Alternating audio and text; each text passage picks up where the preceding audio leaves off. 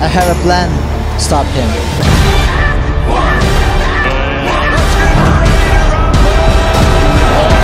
Left hand again. He gets him against the ropes, and he goes down again. skills and speed, you know, the eye. Wade, champion of the world. My goodness, this kid is patient. He has extreme punching power, and he has speed and timing. He is dynamic. You know,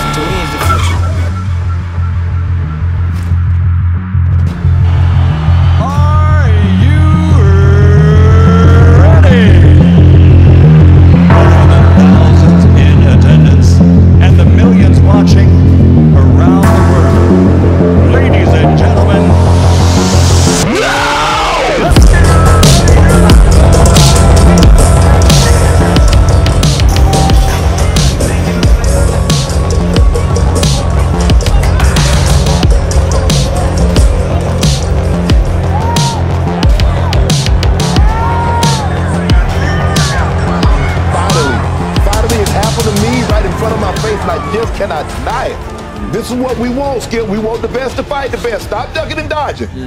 I understand that you can fight this guy over here that has no chance of beating you for 10 million. But go on and fight them big dogs for 20 million. Yep. Get that bread. This this is it. This Skip, think about it. We've had uh, uh, Gervonta Tank Davis, Fight Ross, Ryan Garcia.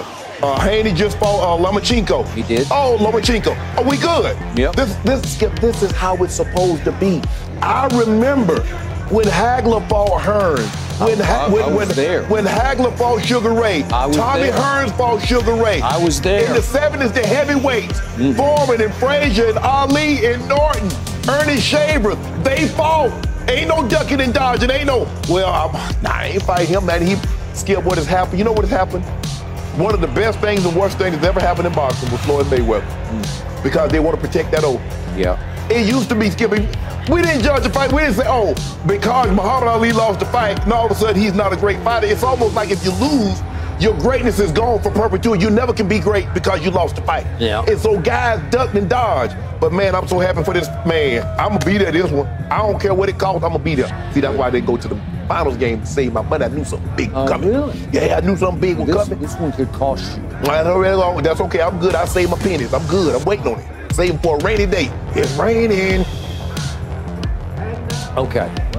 Scale of one to 10. I'm very excited, but I'm not a 10. I'm a 9. And I'll tell you why. Why? It took too long. They're still in their prime. Skip me good. on and on and on and on and on. It's rival promoters, and now they're kind of co-promoters. They're, Right. they're kind of they're Right. Mm-hmm. kissing and hugging promoters. So, Bud Crawford, as you call him, Terence Crawford, is he, he's going on 36 years of age. He, he's at the back end of his prime, but I'm going to give you his prime. Right. This- has taken a long time. And Errol Sprint Spence Jr. has gone through a life-threatening car Right, wreck yeah. in 2019, and then he had surgery for a detached retina in August of 21. It, it is career-threatening. I got to tell you. Yeah. Hopefully, he's going to come all the way back. But those two scenarios took a lot out of him. I, I hope he's what he was in his 20s. Would I have rather these guys have fought at 23 and 25? Right. Sure, I would. have. Well, Yeah. we would have liked to see uh, uh, uh, Mayweather and Pacquiao Oh, well- fights five, six years sooner. They were. Floyd was 38, Manny was 35. Yeah. Okay, well, that's like over the hill time, yeah, right? yeah. It's, we, get them, get them, like, uh, you know, five years, eight years sooner. Now we got something. But Okay. like you said, it was both guys. Was, I, I think, I think Floyd was past his prime, and he was. Yeah. So to me, from what I've seen of Errol Spence Jr., he is the more talented fighter of the two. But the other guy is pound for pound ranked number one for a reason because he's the better fighter. Right. He- well, I should amend that. He's the better boxer. Bo- boxer. He's just the better boxer. That's why this shapes up for all-time Style greatness. make fights. I got it. I got it. So I'm I'm with your excitement level. I just I'm I'm a little drained from it because it just kept going. It felt like it went on forever Yeah. to get to this. Yes, Skip. We remember we talked about it. You're like, man, when are we gonna see? When are we gonna see Bud and Errol. Yeah. Spence? You were out of your mind. Yeah, I'm like, come on, bro. Why y'all ducking and dodging each other? Y'all gonna wait till one of you guys are 40, the Yeah. other guy gonna be 43, and talk about, okay, let's have a fight. Nah, ain't nobody watching that. Ain't nobody watching two old men do anything but play shuffleboard or pickleball. So here we are, and now they've made deal after deal upon deal to guarantee that could be a trilogy, depending right. on who wins. Right. Certainly, if they split the first two, but right. there's going to be a rematch right. no matter what. It's already in yeah. ink. Okay. Right. Yeah. And there's already a plan for a trilogy. Well, these things take time because they, they, they, take a year at a time. But it's right? for the trilogy to happen the first fight need to be interesting. Don't be giving us some, you know, some uh, one four, one fifteen. One, it's a unanimous decision and no, nobody leave. No, we need some fireworks. We need uh, uh, Gatti Ward.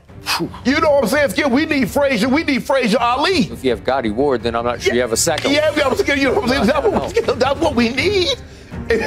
you know how trilogies work. We got ain't got to be some blood.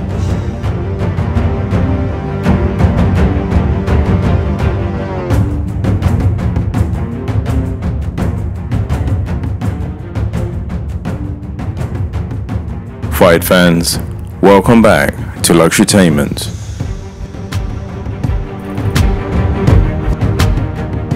In this video, we'll take a closer look at the upcoming boxing fight between Errol Spence Jr. versus Terence Crawford.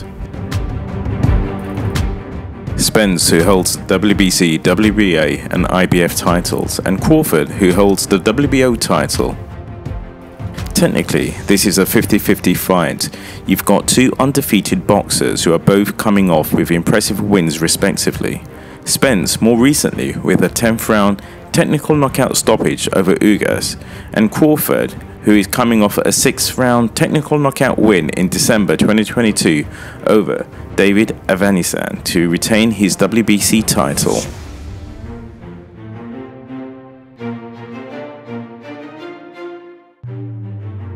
Terence Crawford will be 35 years old by the time this fight takes place, with Spence being the younger of the two by three years.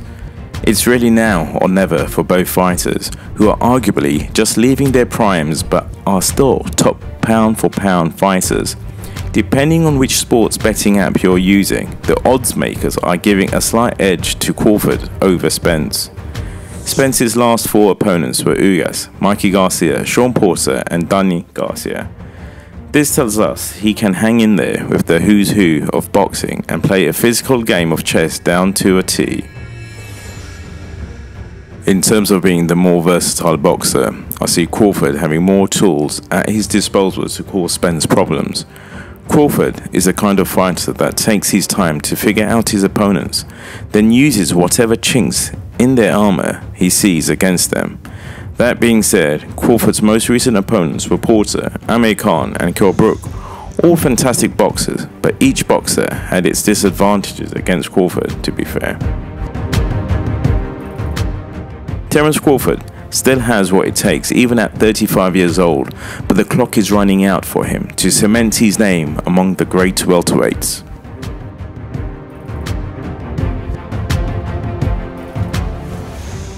The initial fight agreement includes a stipulation that the loser has the right to exercise a rematch. In this bilateral rematch, the winner will earn the majority of the revenue. Fight fans can look forward to not one mega fight, but two and possibly a trilogy.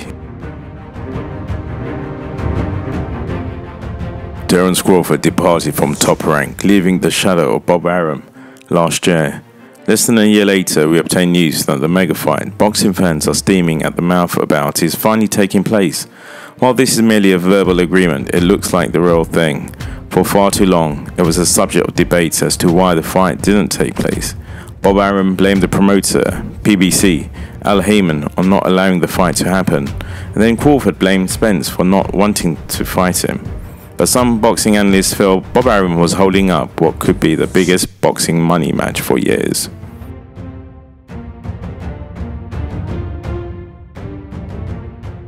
The real winners here are the boxing fans, who are often dangled the best versus the best with it really happening in time. Unlike other combat sports promotions like the UFC, who don't have to worry about sanctioning bodies and politics.